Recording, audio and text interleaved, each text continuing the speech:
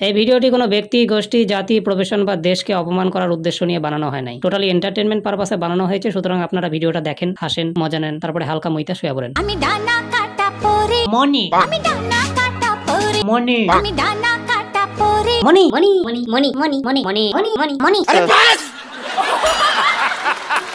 হে WhatsApp বাংলাদেশের পোলাপাইন কেমন আছো? কি করছ? আশা করি ভালোই আছো। শুরু করতে চলেছি নতুন ভিডিও আর হ্যাঁ আর হ্যাঁ। পরিমণি জেলে যাওয়ার পরে তোমাদের তো টাইম পাস হইতেছে না। তোমরা তার লাইফটারে প্রচণ্ড পরিমাণে মিস করতেছো। তাই ভাবলাম তোমাদের এই এন্টারটেনমেন্ট ক্রাইসিসের সময় একটা ভিডিও বানায় তোমাদের উপহার দেই। যতদিন উনি লাইভে না আসেন, ততদিন আমার ভিডিও দেখে একটু হাসো।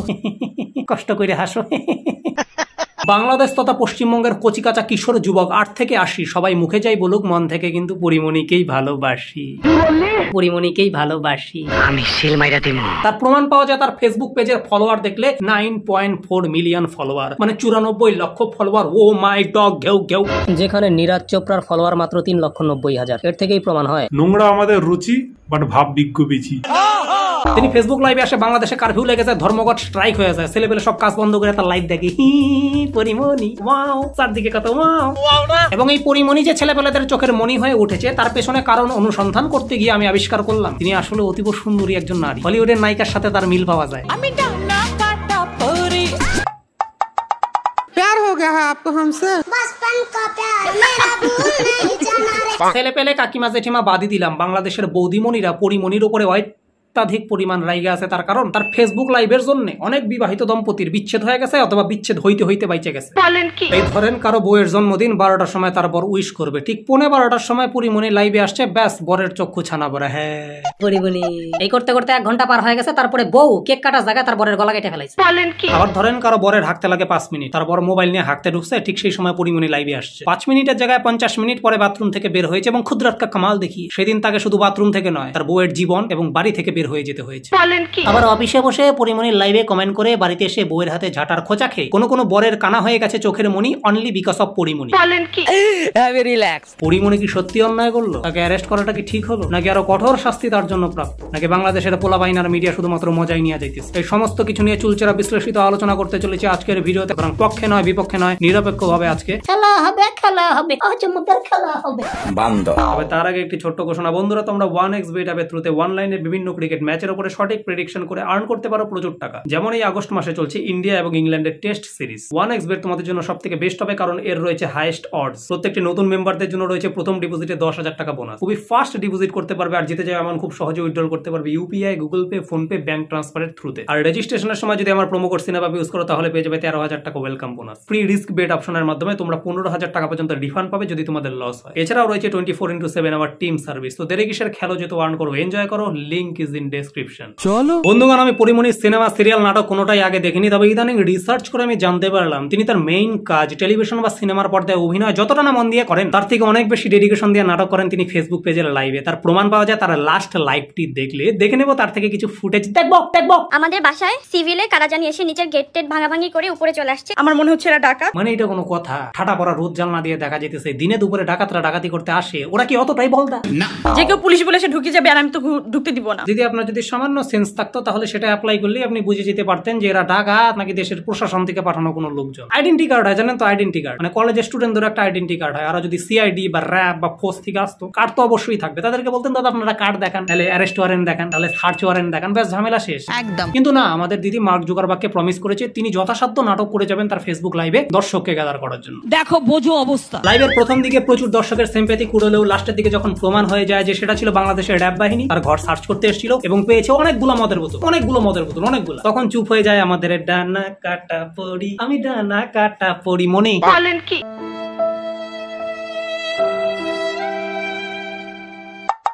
এবং এই মাদক দ্রব্যের পরিপ্রেক্ষিতে পরিমণিকে সমর্থন করে একজন জেঠিমা স্পিচ দিয়েছেন। স্পিচে তিনি কি বলেছেন? দেখব দেখব। মদের কথাগুলো উল্লেখ করা হয়েছে আঠারো কেজি।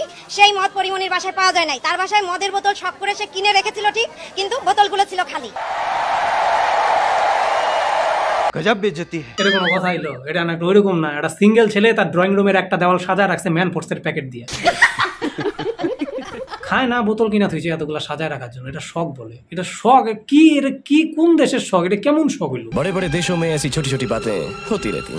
আর পরিমনে তোমার কিন্তু একটু বুদ্ধির অভাব আছে এটা তোমাকে অ্যাডমিট করতেই লাগবে। আমাদের ভারতবর্ষে একটা বিজনেস আছে প্রত্যেক রোববার করে কিছু ছেলেবেলে সাইকেলের পিছনে এত বড় একটা ঝুড়ি বাইন্দা ঘুরে বেড়ায়। তার নাম ভাঙাচোরা লোহাটিন। তারা চিৎকার করে ভাঙা সরা লোহাটিন খাতা বই কাগজ শিশি বোতল বিক্রি করবে করবে করবে এবং আমরা আমাদের বাড়ির বিভিন্ন পুরনো খবরের কাগজ হোক বই খাতা হোক শিশি বোতল হোক লোহা নস্কর ভাঙা চোরা বিক্রি করে দিই বেশ ভালো টাকা পাওয়া যায়। আপনি যদি যতগুলো শিশি বোতল দেখলাম আপনার বাড়িতে অতগুলো যদি বিক্রি করতেন আরামসে দুই তিন লিটার আর এস বা বিবি কিনে ফেলাইতে পারতেন। বিদিগো বিদিগো বিদিগো ভাঙাচোরা লোহাটিনের কাছে যদি বোতলগুলো বেচে দিতেন এত কে শিখাইতেন না আপনি? এটা আগে তুমি বলবা না। বন্ধুগণ তোমাদের কাছে একটা প্রশ্ন বলো তো বাংলাদেশের সব থেকে রোমান্টিক হিরো কে আমাদের ইন্ডিয়াতে যেরকম শাহরুখ খান তিনি যদি দুইটা হাত খোলেন একটা মিউজিকের সাথে।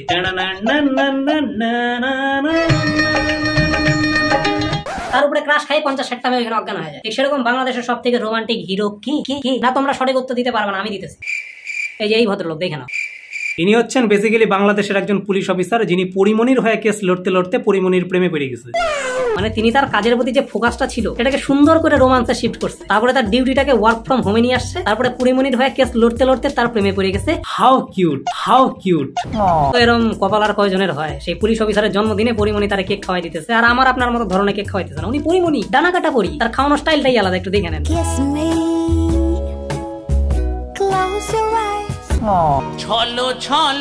Eyes. তো বন্ধুগণ এই পরিপ্রেক্ষিতে আমি এবার একটু জ্ঞান দিব তোমাদের একটু জ্ঞান সহ্য করতে হবে। তোমাদের ফিউচারে জ্ঞানগুলো কাজেও লাগতে পারে। সংস্কৃতে একটি প্রবাদ রয়েছে জস্মিন দেশে যদাচার। মানে যেখানে যেই স্থানে যেই সমাজে যেই দেশে যে রীতি রেওয়াজ প্রচলিত মানুষকে সেগুলো মেনে চলতে হয়। যেমন ধরো আমি কোচবিহার জেলার খাগড়াবাড়ি গ্রামে বসবাস করি। এটি একটি গ্রাম পঞ্চায়েত এলাকা গ্রাম গ্রাম ভাব এখানে যদি পাড়ার কাকিমা বৌদিরা বিকিনি পরে ট্যাপ কলে জল ভরতে আসে বা কাপড় কাচতে আসে সমাজ কি মেনে নেবে? রাস্তাঘাটের লোকজন জড়ো হয়ে যাবে। কোন একজন সরিদা ব্যক্তি হয়তো নিজের চাদর খুলে সেই বৌদিকে জড়িয়ে দিয়ে বলবে আহারে গরিব ঘরের মেয়ে মনে হয়। জামা কাপড় কিনতে পারেনি কষ্টই লাগে গো। পঞ্চাশ টাকা তার হাতে গুজে দিয়ে বলবে মা যাওয়ার সময় হোটেল থেকে দুটো ভাত খেয়ে যাবে কষ্টই লাগে বল কোভিড পরিস্থিতি কাজকর্ম নাই মনে হয়। গরিব ঘরের মাই জামাটাও কিনতে পারেন। বাংলাদেশের প্রচুর নাটক সিনেমা সিরিয়াল দেখি। বাংলাদেশের কোন সিনেমা রোমান্টিক পর্যায়ের আবেগঘন মুহূর্তে সব থেকে ক্লোজ সিন যদি হয় সেটা হচ্ছে একটা নায়ক নায়িকার কপালে চুমু খায় কপালে। সেই কপালের জায়গায় যদি হিরো হিরোইনের গালেও চুমু খায় অনেক কাকিমা জিরিমা লজ্জা নিজেদের কাপড়ের আঁচল দিয়ে নিজেদের মুখটাকে আর তুমি সেই জায়গায় বাংলাদেশে তাইকা তোমার বন্ধু হোক বেষ্টি হোক প্রেমিকা হোক হবু বর হোক যাই হোক নাঙের পিয়ার আকার যাই হোক আরে তুমি ঠোঁট দিয়া কেক খাওয়াইতেছো। বাংলাদেশের কালচার রীতি রেওয়াজের পরিপ্রেক্ষিতে এটা তো দৃষ্টিকটু ব্যাপার তাই না? এটাকে তোমাকে মানতেই হবে। এখন ধরো তুমি যদি নিউ ইয়র্কে থাকতা বা ক্যালিফোর্নিয়া থাকতা বা ব্রিটেনে থাকতা তাহলে তুমি ঠোঁট কেন? নাক কান গলা পায়ের তলা যা ঘুষি দিয়ে কেক খাওয়া লোকে বলতো wow smart girl you are কিন্তু ওই জসমিন দেশে যদাচার। বাংলাদেশে মদ মাদকদ্রব্য দারু অ্যালকোহল এগুলো বিক্রি করা খাওয়ার সঙ্গে রাখা টাচ করা পুরোপুরি আইনত নিষিদ্ধ। অপরাধ অন্যায় ভারতবর্ষে যেরকম গাঞ্জা। খাই চুপে চাপে সবাই কিন্তু ধরা পড়লে বাস। বাংলাদেশে এই মাদকদ্রব্য ব্যান হওয়ার কারণে ছেলেপেলে খুব কষ্ট করে কপ সিরাপ খেয়ে নেশা করে মানে ডাইল ডাইল। তবে হ্যাঁ লাস্টে একটা কথা না বললেই নয় পরিমণি হয়তো বাড়িতে মদের বোতল রেখে অপরাধ করেছে ঠিকই কিন্তু বাংলাদেশে কি এমন আর কোনো মানুষ নেই যাদের বাড়িতে রেড মারলে মদের বোতল পাওয়া যাবে না যাবে প্রচুর যাবে। মিডিয়া তাদের নিয়ে জলঘোলা করবে না কারণ তারা পরিমণি নয় তারা নায়িকা নয় তাদের ফেসবুক পেজে nine point four million follower নেই। তাদের নিয়ে নিউজ বানালে পাবলিক চেটে পুটে খাবে না কারণ তাতে গরম মশলা নেই গুঁড়ো মশলা নেই কাচ্চিকানি খাঁটি সর্ষের তেল নেই ঝাঁজ নেই। কন্ট্রোল একদম আমাদের ভারতের মতো সেফ আলী খান করিনা কাপুরের ছেলে তৈমুরের গুয়ের কালার গাঢ় হলুদ না কাঁচা হলুদ না গোলাপি সেই নিয়ে নিউজ করলে কোটি কোটি লোক দেখে বা কাশ্মীর সীমান্তে ভারতের বীর সৈনিক আতঙ্কবাদীদের গুলিতে নিহত হলে সেই নিয়ে কোনো নিউজ কভার করা হয় তার থেকে চাঙ্গি পান্ডের মেয়ে অনন্যা পান্ডের স্ট্রাগল স্টোরি কোটি টাকা দিয়ে আইফাই অ্যাওয়ার্ড কিনে সেটা নিয়ে শো আপ করা এইসব নিয়ে নিউজ করলে কোটি কোটি ভিউ হয়। পাবলিক চেটে পুটে খায় এমন চেটে পুটে খায় যে সেই থালা পরে আর জল দিয়ে ধুতে হয় তো এটাই বলার বস বাংলাদেশে কি আর কোনো হিরোইন বা হিরো নেই? যারা এই প্যান্ডামিক সিচুয়েশনে নিজেদের উপার্জন করা অর্থ দিয়ে দুস্থদের হেল্প করছে সেই খবর কিন্তু মিডিয়া কভার করবে না। তবে বস দুটো লাইন বলছি শুনতে অপ্রিয় হলেও এটাই সত্য। ওহে মিডিয়া তুমি বড়ই চুতিয়া। নোংরা আমাদের রুচি বাট ভাব বিজ্ঞ বিচি তুমি খুব ভালো একটা মানুষ। আচ্ছা চলতা হু দুয়াও মে ইয়াদ রাখনা। মেরে জিক্র কা জুবা পে সুয়াদ রাখনা। दिल की संदूकों में मेरे अच्छना লিরিক্স ভুলে গেছে যাই হোক টাটা বাই বাই দেখা হবে পরের ভিডিওতে আমি ডানা কাটা